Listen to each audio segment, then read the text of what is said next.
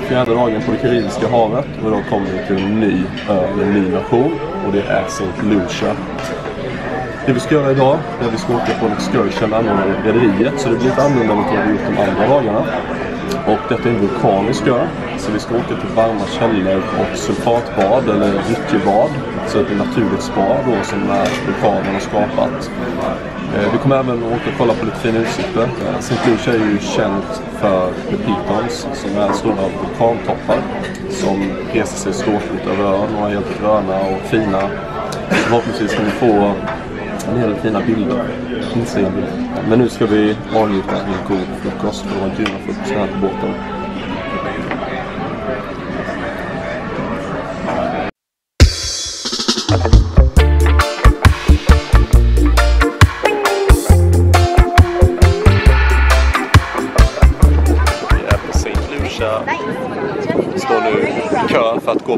Excursion-grejen.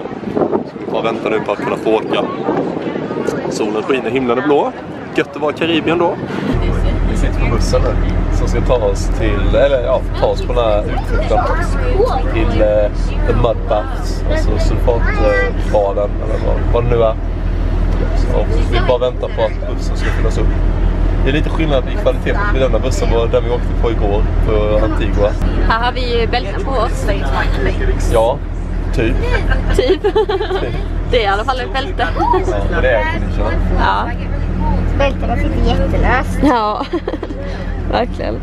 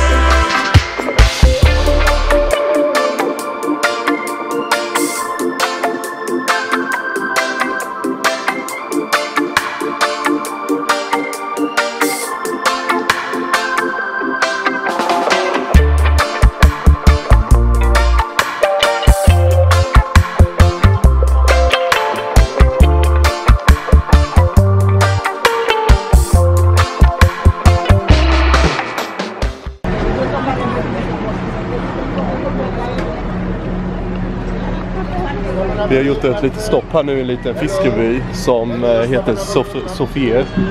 Sofrier. Eh, bara 15 minuter. Så vi ska gå omkring och kolla här. Det är väldigt mysigt och fint. Men vi ska inte vandra iväg i områden där vi inte kan synas. Eh, så uppenbarligen så är det kanske inte helt säkert. by. Men det blir nog bra.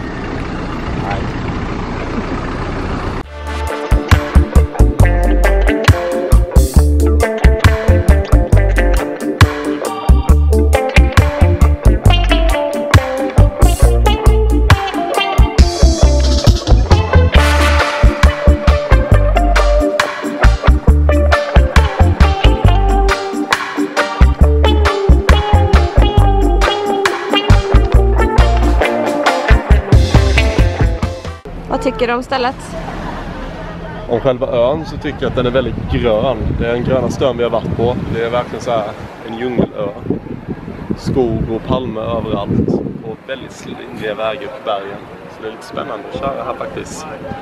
Men det är... Det är jag, vet, jag kan inte säga så mycket om den här stan för det är bara massa stånd här liksom. Men det är en liten, liten fiskeby. Det är ingen stad ens. Så att... Eh, och vi fick inte vandra iväg på egen hand. Så det säger väl en del om det här stället kanske.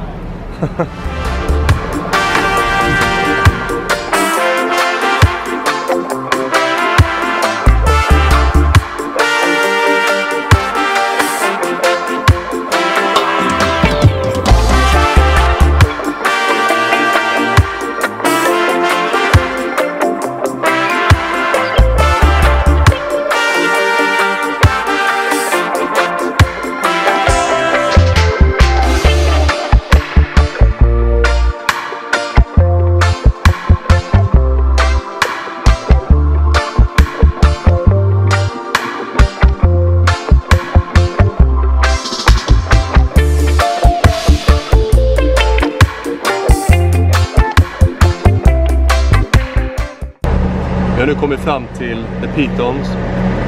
Det är de topparna som ni ser i bakgrunden. Vi befinner oss faktiskt i en vulkan nu. Bakom mig till vänster så ser ni att det kommer upp rök.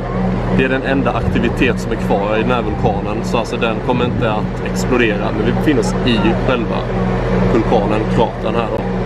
Men det är alltså The Pitons som är, som är ja, the thing.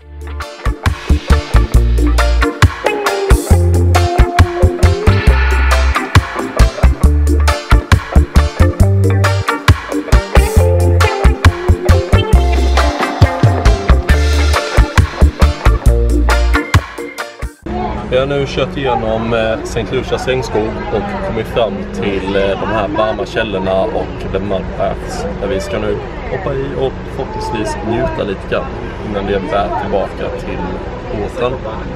Det har varit en intressant resa med väldigt slingriga vägar, höga stup, storslagna utsikter. Så det var helt klart värt att ta den här excursion-touren.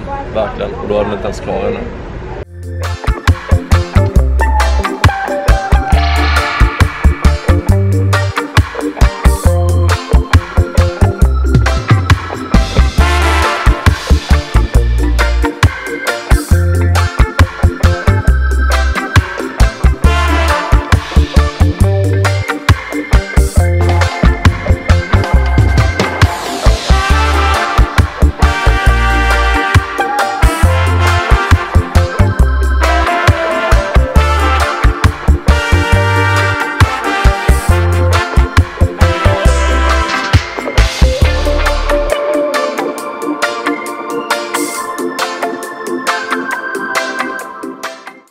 Alltså, vad säger du om The Mud Baths? Bada i sulfat.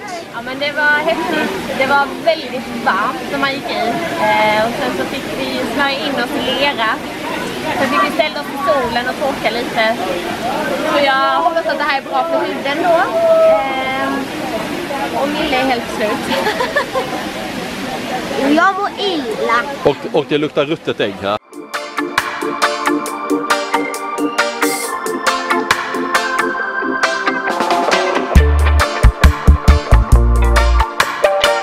Stanna och skratta lite mat med en grym musik.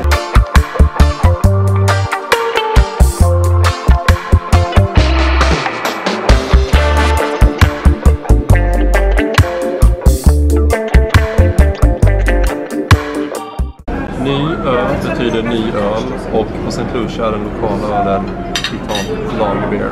Så självklart måste vi testa den också.